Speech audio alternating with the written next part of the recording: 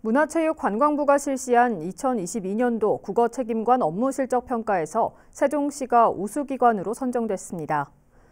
이 제도는 국어기본법에 근거한 것으로 지방자치단체장은 국어 발전과 보전 업무를 총괄하는 소속 공무원을 국어 책임관으로 지정해야 합니다.